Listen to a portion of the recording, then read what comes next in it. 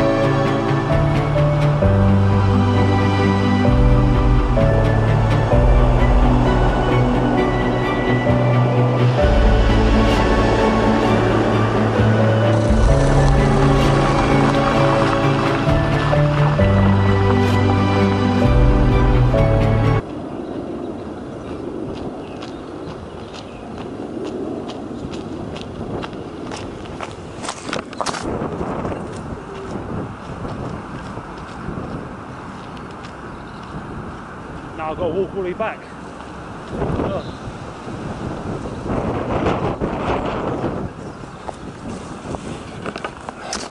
So yeah, now I'm in a sacred place on the Quantock Hills.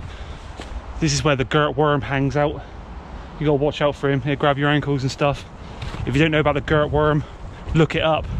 Legend has it, it roams this woodland and it eats bloody everything.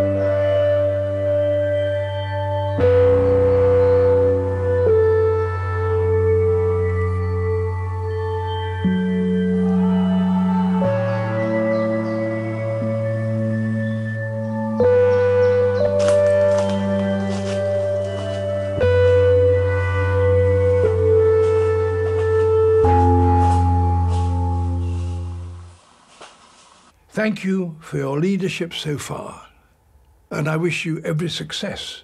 Big shout out to David Attenborough, top man Dave. He said my clips were absolutely amazing, gave him some inspiration. He said, Baskett, keep on going son, you can do it. So all you out there, go get yourself a tripod, go film some stuff, enjoy life and all that.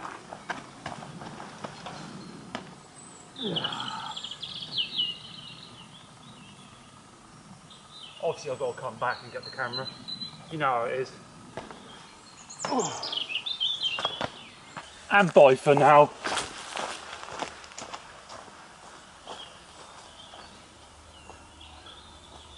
Got a bloody stitch. It ain't easy Do all this camera lark, selfie filming and all that. Dave knows the score. Even though he's a millionaire, he's got all the cameramen around him. Bloody easy work, Dave. Cheating, mate.